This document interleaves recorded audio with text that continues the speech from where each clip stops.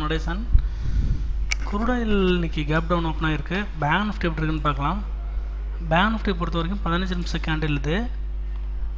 இன்றைக்கி இன்னைக்கு பொறுத்த வரைக்கும் இருபத்தி ரெண்டு ஆறுநூறு அப்படிங்கிற இடத்துல ஒரு ரெசிஸ்டன்ஸ் லெவல் இருக்குது இன்னைக்கு கேப் டவுன் ஓப்பன் ஆகும் அப்படின்ற மாதிரி நம்ம எதிர்பார்த்துருந்தோம். கொஞ்சம் மேலே ஓப்பன் ஆகிருக்கு இன்றைக்கி ப்ராஃபிட் புக்கிங் இருபத்தி ரெண்டு ஆறுநூறு நேராக வர்ற மாதிரி இருக்குது சப்போர்ட் லெவலை பொறுத்த வரைக்கும் இருபத்தி ரெண்டாயிரம் தான் சப்போர்ட் லெவல் ரெசிஸ்டன்ஸ் லெவல் இருபத்தி ரெண்டு ஆறுநூறு.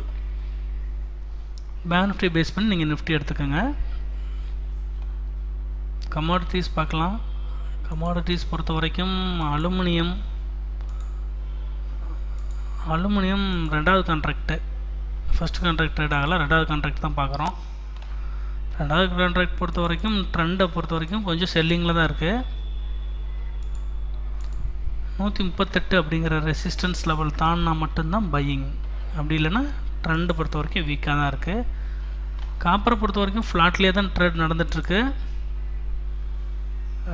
சப்போர்ட் லெவல் எடுத்திருக்கு நானூற்றி ஐம்பத்தி ஒன்றில் அதனால் இந்த ரெண்டு ரேஞ்ச் இருக்குது நானூற்றி ஐம்பத்தஞ்சு முப்பது டு நானூற்றி ஐம்பது ஐம்பத்தொன்று இந்த ரெண்டு ரேஞ்சு பிரேக் அவுட் ஆகும்போது தான் நமக்கு வந்து ஹெவியாக ஒன் சைடு போகிறதுக்கு வாய்ப்புகள் இருக்குது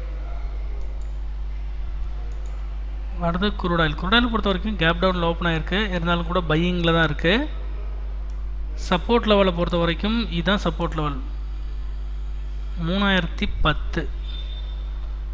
நோட கீழே வச்சுக்கலாம். மூணாயிரத்தி அஞ்சு. மூணாயிரத்தி அஞ்சு அப்படிங்கிறத கட்டானா மட்டும்தான் வீக்கு இல்லைன்னா மறுபடியும் மேலே தான் போகிற மாதிரி இருக்குது அடுத்து கோல்டை பார்க்கலாம். கோல்டை பொறுத்த வரைக்கும் அந்த பாக்ஸ் அப்படின்றத கட்டாக இருக்குது ஏன்னா பொசிஷனல் ட்ரெண்ட் பையிங்கில் இருக்கனால அந்த பாக்ஸ் அப்படிங்கிறது கட்டாக இருக்குது இன்றைக்கி மறுபடியும் ஒரு ஐநூறு பாயிண்ட் ஏறுற மாதிரி தான் இருக்குது சப்போர்ட் லெவலை பொறுத்த வரைக்கும் நாற்பத்தேழு தொள்ளாயிரம்.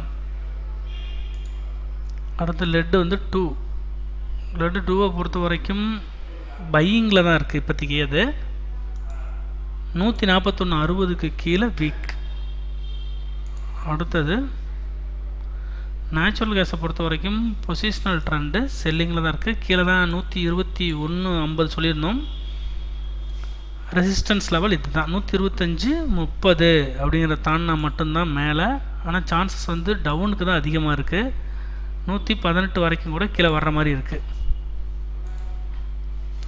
அடுத்து நிக்கல். நிக்கலை பொறுத்த வரைக்கும் நிக்கல் டூ நிக்கல் டூ கொஞ்சம் சப்போர்ட் எடுத்துருக்கறனால இந்த தொள்ளாயிரத்தி அறுபத்தி நாலு அப்படிங்கிறத கட்டானா மட்டும்தான் வீக்கு அப்படி இல்லைன்னா ஃபர்தராக இது வந்து மேலே தான் போகிற மாதிரி இருக்குது நிக்கலை பொறுத்த வரைக்கும் கொஞ்சம் மேலே போகிற மாதிரி இருக்குது தொள்ளாயிரத்தி எண்பத்தி நாலு வரைக்கும் போகிற மாதிரி இருக்குது தொள்ளாயிரத்தி அறுபத்தி நாலு சப்போர்ட் லெவல் சில்வர் வந்து கோல்டை பேஸ் பண்ணி சில்வர் எடுத்துக்கோங்க. ரெண்டுமே பையிங்கில் தான் இருக்குது அடுத்து ஜிங்கை பார்க்கலாம். ஜிங்கை பொறுத்த வரைக்கும் செல்லிங்கில் தான் இருக்குது ரெசிஸ்டன்ஸ் லெவல் நூற்றி அறுபத்தி மூணு ஐம்பது.